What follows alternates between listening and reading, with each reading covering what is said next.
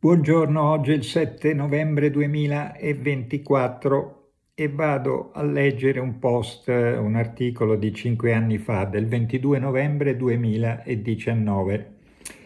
Potremmo intitolarlo Lezione di politichese. Può essere comodo a tutti noi imparare un pochino di politichese. Inizio a leggere. Il 9 novembre 2019, nel giorno del trentesimo anniversario della caduta del muro di Berlino, Luigi Di Maio, durante una conferenza stampa congiunta con il suo omologo tedesco Heiko Maas, ha dichiarato Attenzione perché bisogna eh, impararle queste parole, sono, sono meravigliose State attenti, insomma. Due punti. Nessuno Stato membro sarà mai soddisfatto pienamente di come è l'UE adesso. Tutti vorranno sempre migliorarla.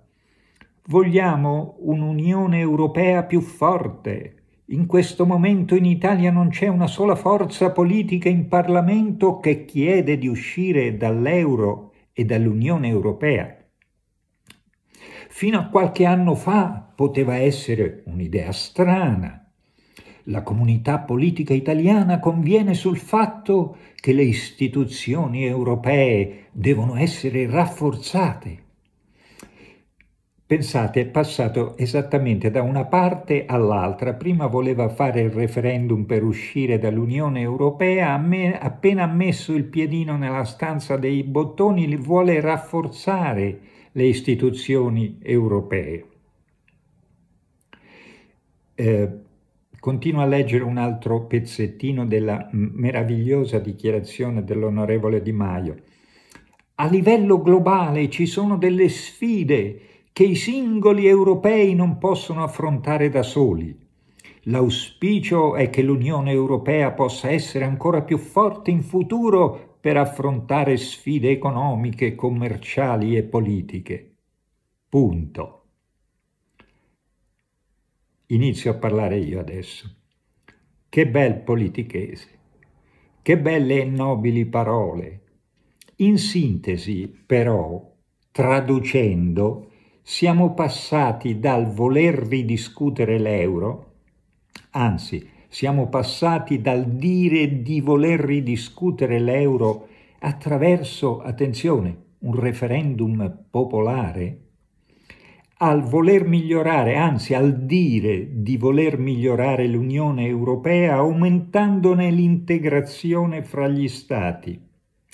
Tradotto in linguaggio ancora più esplicito, significa accettarla l'Unione Europea così com'è, con l'euro, con la moneta euro e i vincoli che si porta dietro, facendo magari un po' di ammuina per far vedere che qualche cosa si sta cercando di migliorare, ma senza alcuna volontà di andare allo scontro, per carità non sia mai, perché i padroni del discorso, le plutocrazie globaliste che comandano, l'Unione Europea l'hanno costruita così, e così ha da restare anche perché il Movimento 5 Stelle cala sempre le braghe.